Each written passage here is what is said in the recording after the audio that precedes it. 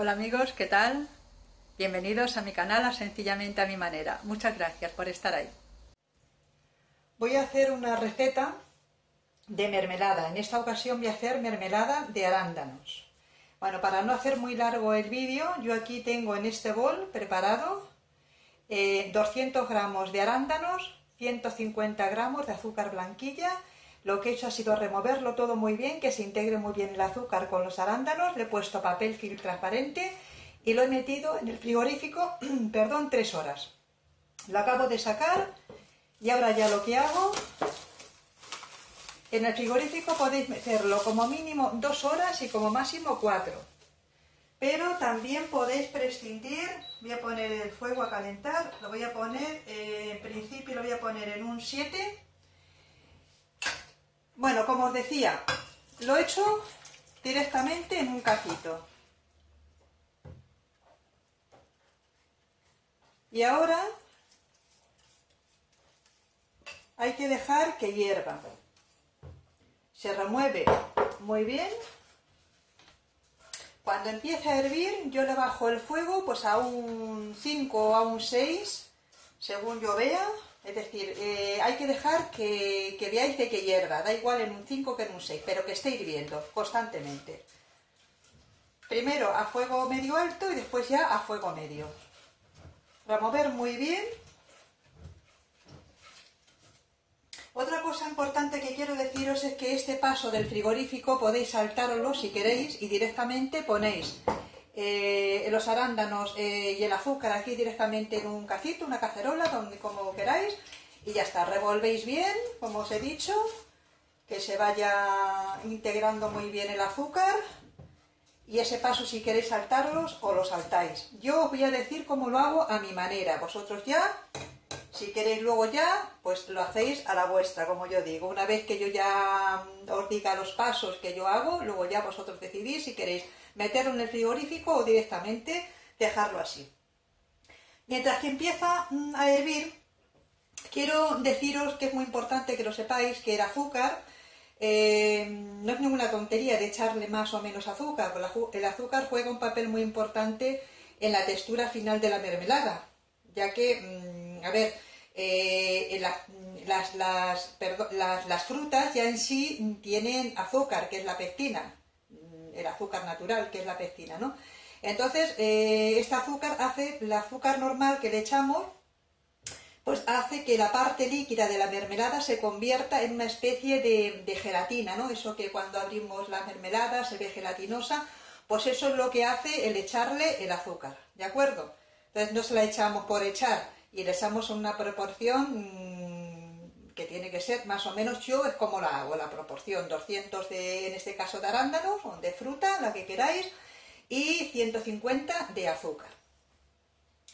Voy removiendo. Deciros también para que los que, para los que no lo sepáis, eh, a ver, lo, concretamente los arándanos es una fuente antioxidante muy importante, es la fruta que yo creo que tiene más antioxidantes de todas. ¿eh? Además, eh, tiene propiedades hipoglucémicas, em, antibacterianas, antiinflamatorias, antigentes, o sea, tiene muchísimas propiedades los arándanos. Entonces, bueno, es una, es una fruta muy, saludable, en mermelada o, comiéndola tal cual, ¿eh? Bueno, pues voy a dejarlo así, que hierva. También es importante que a la hora de que remováis, eh, mm, recojáis bien todo lo de las paredes, el azúcar que se pueda quedar en las paredes para que no se cristalice.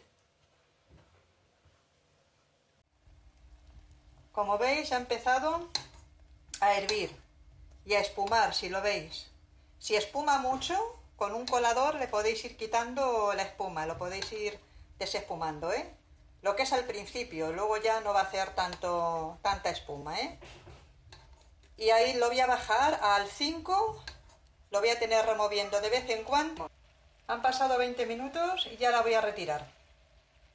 Deciros que en esos 20 minutos yo lo he tenido eh, pues en un fuego en el 5. Mi vitrocerámica tiene un 9, lo he puesto en el 5, esos 20 minutos.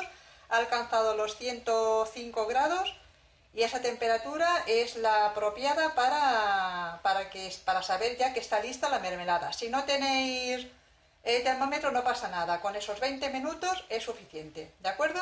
Bueno, pues lo voy a echar, es que he cogido el móvil con la otra mano para hacerlo mejor. Bueno, ahora voy a echar el resto. Como veis queda un poquito de... la que queda todavía líquida, pero luego lo que hago es que la pongo en el frigorífico, la tapo con papel film, la pongo en el frigorífico una vez que, que, entibie, evidentemente. Dos o tres horas para que coja la consistencia, mm, la textura perfecta de mermelada. Ahora mismo queda un poquito líquida, pero es así, ¿eh? Ya cuando la saque del frigorífico os la enseño. Voy a poner el resto que queda aquí en el cazo, voy a meterla aquí. Ah, deciros otra cosa importante.